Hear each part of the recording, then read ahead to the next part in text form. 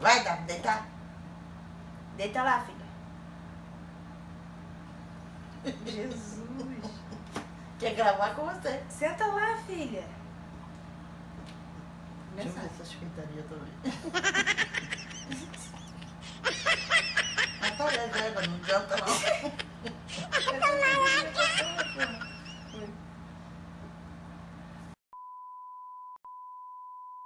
E aí, galera, tudo bom com vocês? No vídeo de hoje eu trouxe a minha mãe Oi. e eu fiz algumas perguntas aqui, ela ainda não sabe o que, que é. Eu fiz algumas perguntas e ela vai responder sobre quando eu tive a esclerose múltipla, né? Quando eu tive, não, que eu ainda tenho, né? Quando eu tive a crise e a gente descobriu que eu tinha esclerose múltipla. Se você quer continuar assistindo, vem comigo. É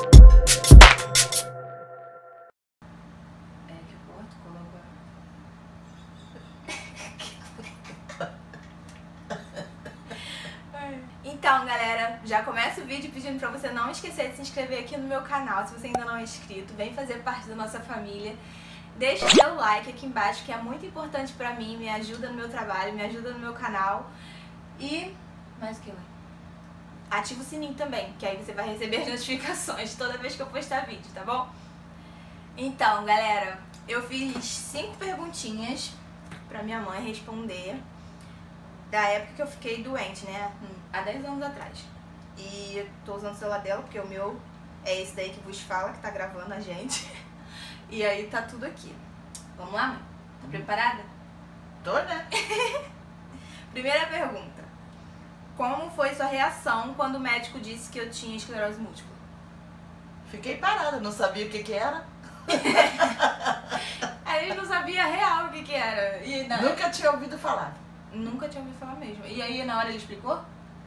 Não, ele só falou assim, ó mãe, vou pedir os exames, mas eu já sei mais ou menos o que essa filha tem.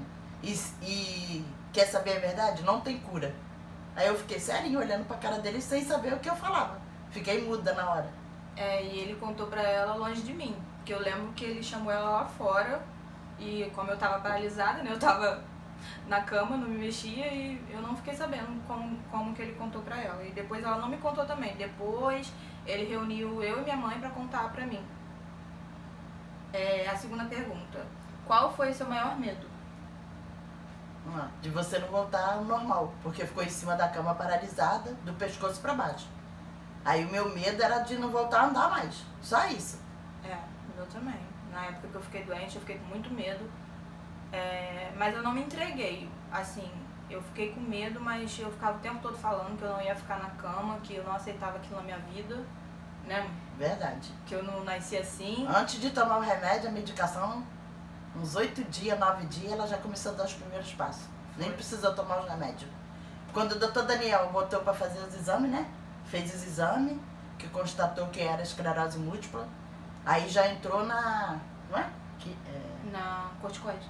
Corticoide, mas tem o nome, pulso. Pulsoterapia. Pulsoterapia. É. Aí que já entrou na pulso. Só que ele ficou bobo, que quando ele chegou no quarto, na enfermaria, que ele falou assim, mãe, vou botar ela para tomar o medicamento pro cérebro desinflamar.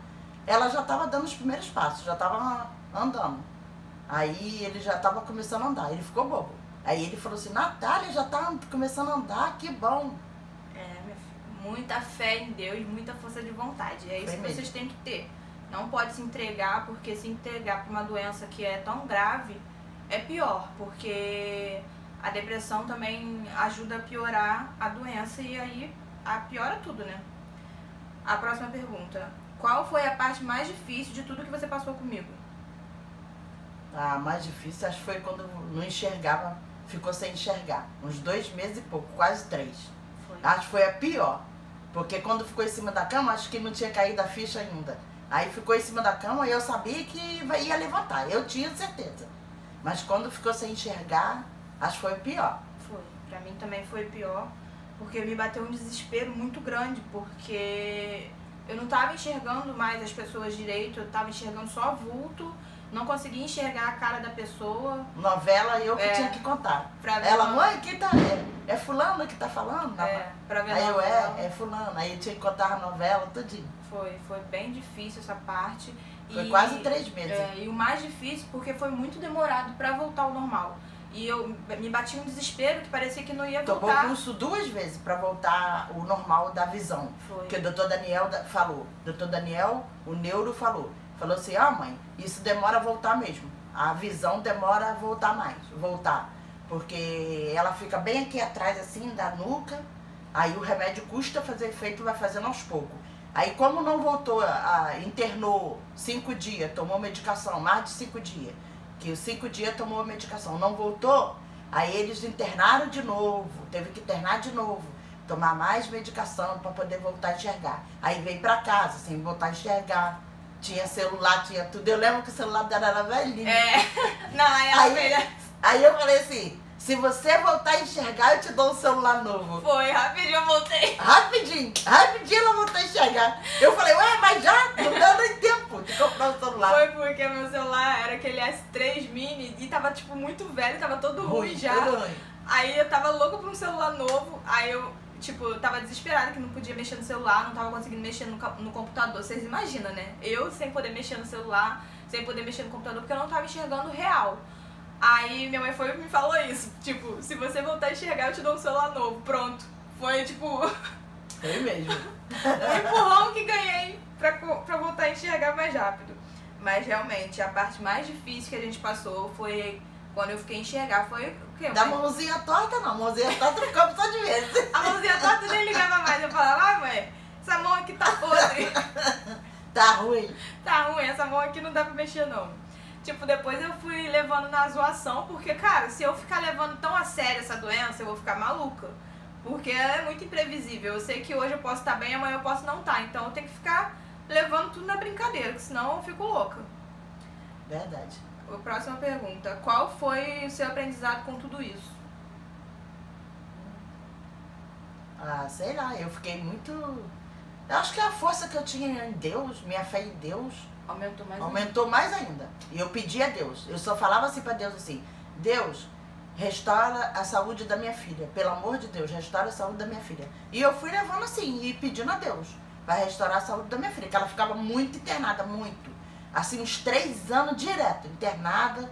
Vinha pra muito. casa, voltava pro hospital. Vinha pra casa, voltava pro hospital. E eu fazia tratamento certinho, hein? E tomando as injeções, tomando as injeções, mas é como o doutor Daniel falou, parecia que as injeções não faziam efeito pra ela. É. E fora as dores de cabeça que a injeção dava, dor no braço, ficou com buraco no braço, nas pernas, de tomar as injeções, Sete e dando anos. crise, dando crise, dando crise. Isso foi acho que uns quase uns quatro anos. Não, foi mais sete anos. Não, sete anos que eu. Que eu fiquei tomando as injeções. Ah, tomando as injeções foi sete anos, mas dando crise direto mesmo. Foi. Foi três anos, e três anos e pouco, quase quatro, direto, direto, direto. Só vivia internada. Era cinco dias em casa, o resto no hospital. Vinha pra casa daqui a pouquinho. Ai, meu Deus, tem que ligar pra Dilson. Chama Dilson. É o assim. taxista, amigo da gente. De madrugada eu tinha que chamar Dilson, tadinho. Ele vinha de dormir sentado. Tadinho, eu ficava com pena. Ele levava a gente, dormia sentado lá até Natália se internar e tudo, ajudou muito. Tem muito que agradecer é. ele, que ele é uma pessoa maravilhosa. Ajudou muita gente quando a gente precisou. Muito, muito mesmo. Eu passava mal do nada, eu tava bem, do nada de madrugada eu começava a passar mal, a gente ligava pra ele, era ele que levava a gente, ele que socorria a gente, porque a gente não tem carro. E pra ir pro hospital é longe, porque é no centro de São Gonçalo, a gente mora mais pro um bairro mais escondido, né? Verdade. E, E aí a gente tem que precisar de alguém, sempre precisar de alguém. tinha meu irmão também, né? Que tem carro que mora aqui atrás. É. Aí meu irmão, às vezes eu batia, chamava ele pela janela, Romo, pelo amor de Deus, Natália tá passando mal. Aí ele, peraí, peraí, já vou aí. Aí vinha, pegava ela, botava no carro e levava pro hospital. Eu já sabia, já ia com a mala pronta, que eu sabia que ia ficar. Pior que é verdade. Toda É. vez eu ficava internada, todas as vezes. E a próxima, a última pergunta é o que você tem a dizer para as mães que também têm filhos com esclerose múltipla? É, nunca perder a fé, né? Que eu acho que a fé remove montanhas, né?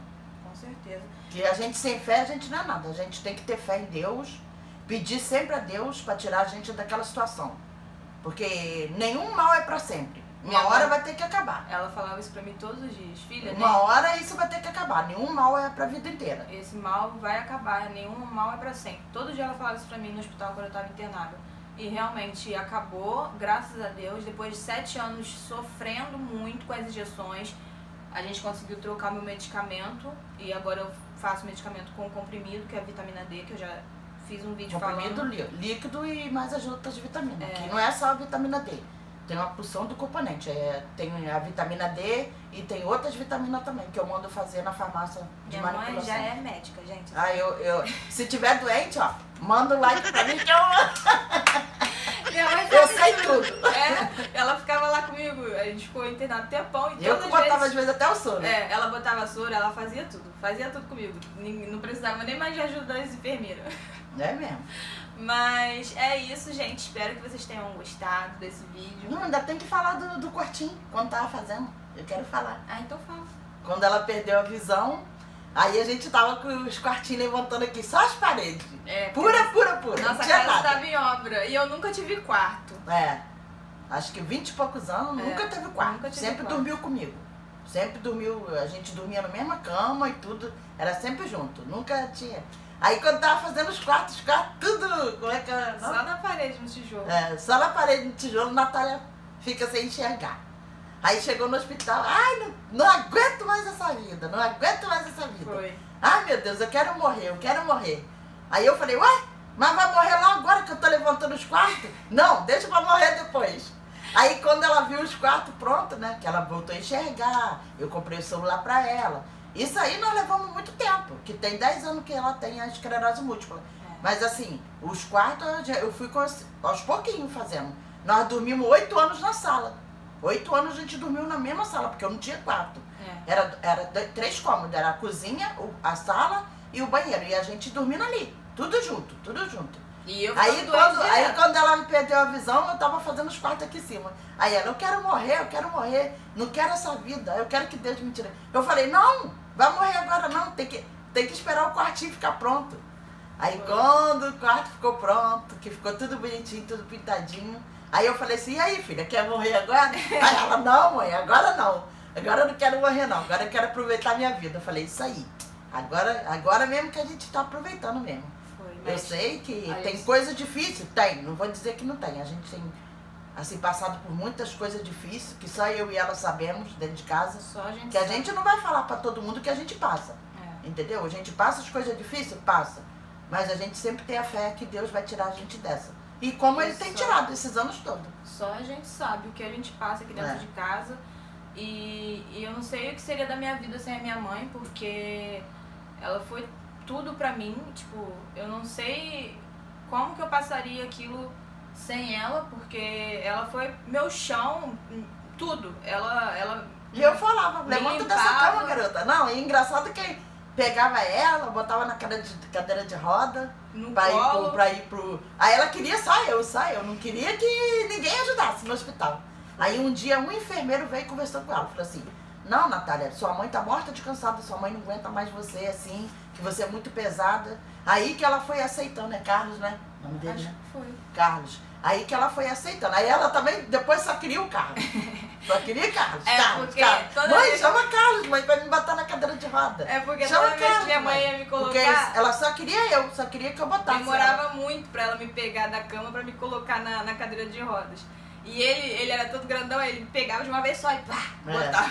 Porque tudo eu tinha que fazer na cadeira de rodas. Aí ele, xixi, não, mãe, você não pode fazer isso sozinha, não. pra fazer Entendeu? xixi Daqui, eu tinha que ele, eu lembro que das palavras dele, que ele falou assim, daqui a pouquinho você tá aí deitada do lado dela, não tá conseguindo nem ajudar tua filha. Doente, né? Que eu também fiquei também. Quando um filho cai doente, você também fica. É. Fica doente em tudo. Né? Eu não tinha problema de pressão alta, hoje eu tenho, tomo remédio todos os dias para pressão alta. Tem dia que a minha pressão tá 18, 19. Agora, graças a Deus, tem controlado mais. Mas assim, fiquei muita coisa mesmo, muita coisa a gente passou junto. Nós dois já sofremos E muito a gente já passou muita coisa, muita coisa mesmo. esses 10 E, é, e assim a gente vai levando a nossa vida, tem que ir levando assim, é. entendeu? E graças a Deus agora tá controlada. Eu acho que controlou mais depois da vitamina D, que pelo menos parou, melhorou. Não- assim, não vou dizer que acabou a dor de cabeça dela, mas amenizou bem, É. entendeu? Vomitava muito, vomitava muito com as injeções. Aí chegava lá em doutor Daniel, o doutor Daniel falava, essas injeções, Natália, não tá te ajudando em nada, porque tá piorando outras coisas. Quer dizer, entendeu? E ainda dava crise também da esclerose múltipla que tinha que ficar internada direto. E agora tem dois anos que eu não tenho crise, nunca. Já nunca vai pra mais. três, né? Três anos, quase três anos que eu não tive mais nenhuma É. crise. E graças vomita às vezes, é muito, muito difícil, difícil. vomitar. A dor de cabeça que ainda dá, às vezes, porque a dor de cabeça, querendo ou não, é um sintoma já da esclerose múltipla. É, quem não Não, é conhece. enxaqueca. e também. Enxaqueca. Quem não conhece também, a esclerose múltipla tem uns sintomas, tem fadiga, que me deixa muito cansada às vezes. Às vezes eu não tô fazendo nada e eu tô cansada. É, dor de cabeça. Vocês sabem quem, quem procura sobre a esclerose múltipla, quem já viu meus vídeos também, eu já falei um pouco sobre os, os diagnósticos que dá, sobre as reações. E é isso aí, né, mãe? A gente vai empurrando com a barriga e a gente vai vivendo assim. Pelo menos É empurrando mesmo. uma, uma outra e Verdade. vamos estar sempre juntas. E graças a Deus eu tenho Amém. Amém.